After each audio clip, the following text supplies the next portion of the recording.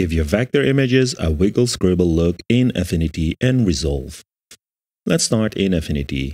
I like to work in the Pixel Studio, but to achieve this effect you can either be on the Vector or Pixel Studio, as long as you have access to the Layers panel. As you can see, I already have a vector layer in my document, and by the way, this effect works really well with line art type of vectors. The first thing we are going to do is to add a pixel layer on top of our vector layer.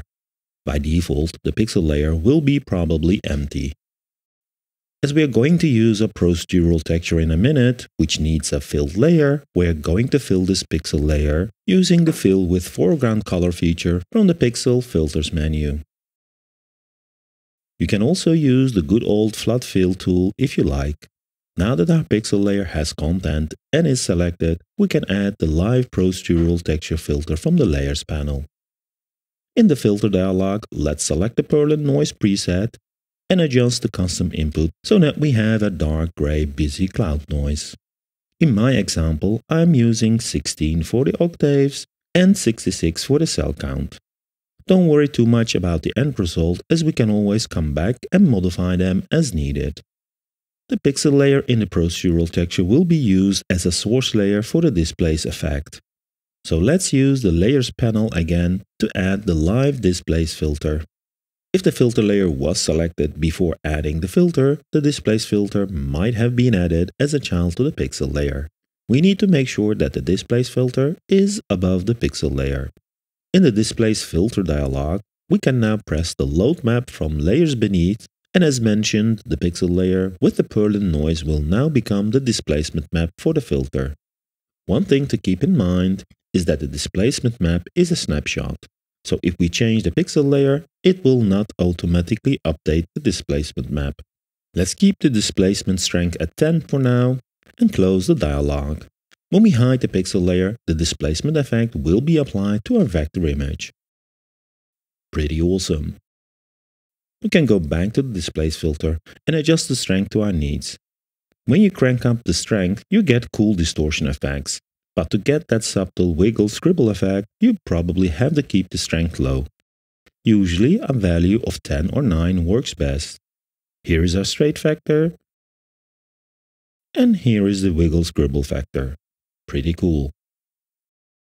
Optionally, you can go back to the pixel layer and adjust the Perlin noise parameters in the procedural texture and reload it in the displace filter as mentioned earlier.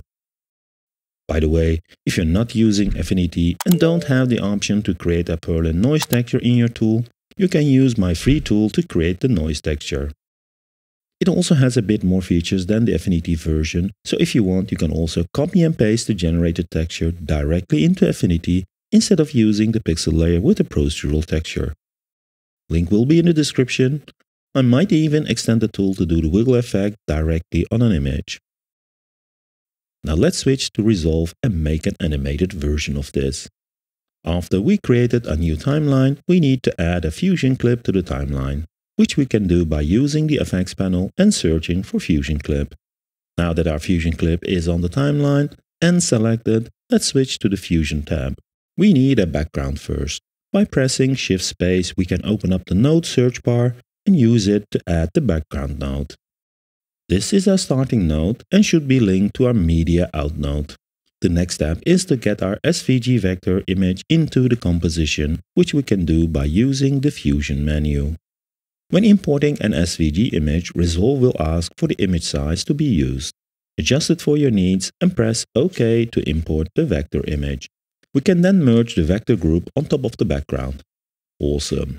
To position and resize the vector, let's add a transform node after the vector group. I want the background to be white. To achieve that, we can easily change the color on the background node. The basic composition is now in place. Just like in Affinity, we need a Perlin noise generator and a displacement tool. The Perlin noise is called fast noise in Resolve, so let's add that to the node tree. For the displacement, we can use the displace node. We can then plug in the displace node after the merge just before the media out. As a final step, we can now link the fast noise to the displace node to drive the displacement. A cool part of Resolve compared to Affinity is that the effects are real-time.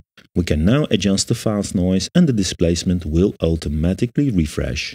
Just like in Affinity, a grey darkish condensed cloud noise works great.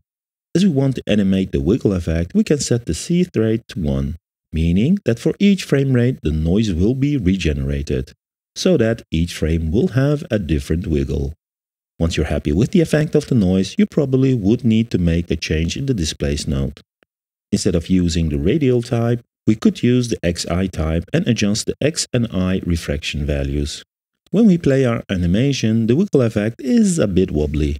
For the wiggle animation, a more abrupt change in the wiggle works better. We can achieve that by adding a stop motion node after the displace node. That looks much better. The animation is set up now and we can go ahead and fine tune the elements to our liking. Pretty cool. Hope you liked this video and thanks again for tuning in. Hit the like and subscribe buttons before you leave and see you in the next video.